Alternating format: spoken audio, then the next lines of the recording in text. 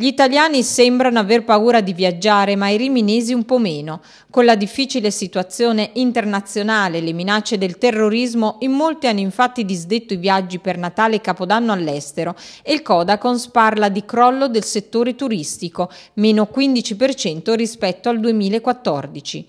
Uno stop significativo è arrivato naturalmente dopo gli attentati di Parigi. Rimangono stabili invece viaggi organizzati sul territorio italiano.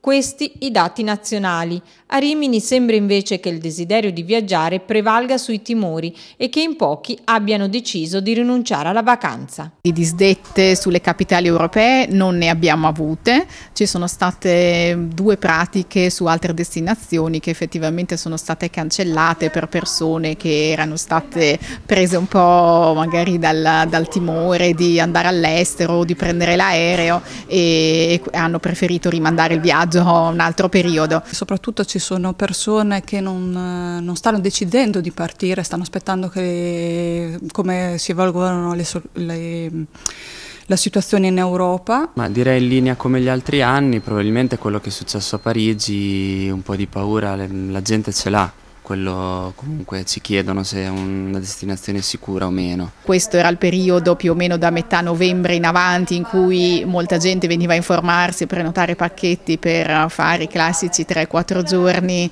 all'estero per Natale o per Capodanno o per l'Epifania, questi sono i ponti classici e se ne sono vendute meno del solito effettivamente. Io ho avuto una coppia che mi ha chiamato perché avrebbe un viaggio per Istanbul e non sa se partire o meno e quindi stanno aspettando aspettando delle notizie che arrivino eh, dalla, dalla, stampa o dagli organi ufficiali per capire com'è la situazione appunto tra la Turchia e, e la Russia mm, grosse cancellazioni o problematiche di questo genere al momento non le abbiamo avute.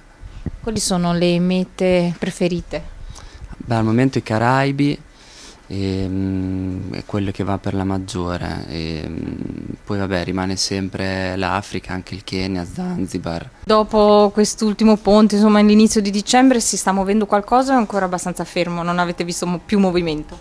Eh, devo dire che noi stiamo lavorando di più già per l'anno prossimo, cioè più gente che si sta informando per andare via dopo le feste, che sono quelli classici che aspettano i saldi, diciamo così, anche per, uh, per i viaggi e che sanno comunque che si trovano dei buoni prezzi. Lei ha un fatto proprio da raccontare per quanto riguarda il viaggio a Parigi, aveva organizzato tutto, voleva fare un bel regalo alla sua famiglia. Certo, certo. Ecco, io ho avuto questa eh, delusione, diciamo, di questi fatti purtroppo che non hanno aiutato certamente all'uscita della famiglia perché dallo stress quotidiano e di conseguenza volevo fare un regalo io e mia moglie a tutta la famiglia. E adesso mi trovo in difficoltà perché devo trovare un'altra meta sotto Natale che sarà molto difficile e poi c'è tutto che ho pagato tra l'altro tutto, di conseguenza adesso mi trovo in difficoltà.